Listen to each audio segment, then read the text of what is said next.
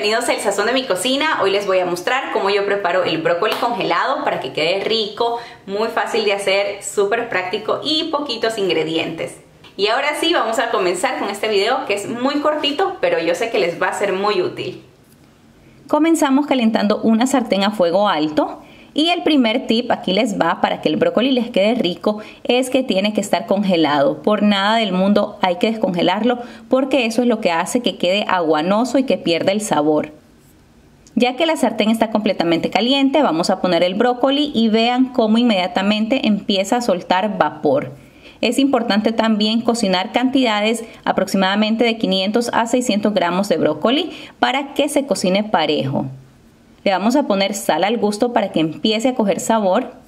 Y aquí les va otro tip, mi gente, para que usted tenga más ganas de comer el brócoli, para que le sepa más rico, póngale la especia o hierba de su elección. Yo le voy a poner cilantro que también tenía congelado y esto le queda de maravilla. Vamos a tapar el brócoli y se va a cocinar con su propio vapor. Lo vamos a dejar solo 3 minutos. Hay que estar bien pendientes del teléfono para que no se pase de ese tiempo.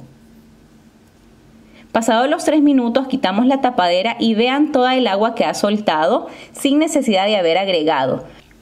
Vamos a probar cómo va la cocción y todavía le falta un poquito, pero lo vamos a dejar así destapado unos 2 minutos más o hasta que el agua se haya evaporado por completo. Si usted quiere que el brócoli le quede muy blandito, entonces tápelo 2 minutos más y luego lo destapa y deja que el agua se evapore.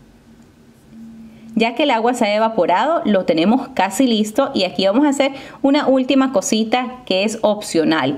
Vamos a agregar aceite, puede ser aceite de oliva, puede ser aceite de aguacate, lo importante es que sea un aceite con grasas buenas. Yo voy a estar utilizando este que tiene el sello de calidad.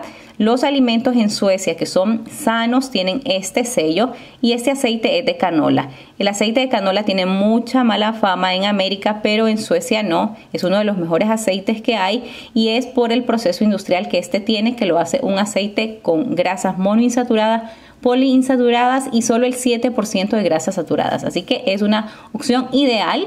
Le vamos a poner un chorrito nomás, mi gente. Si usted quiere, no le agregue, pero para mí el aceite le da un sabor todavía más rico. Y vamos a remover solo unos 15 segunditos para que no se nos cocine el aceite y ya tenemos esto listo para servir. Vean qué rapidito lo hicimos, muy práctico y poquitos ingredientes.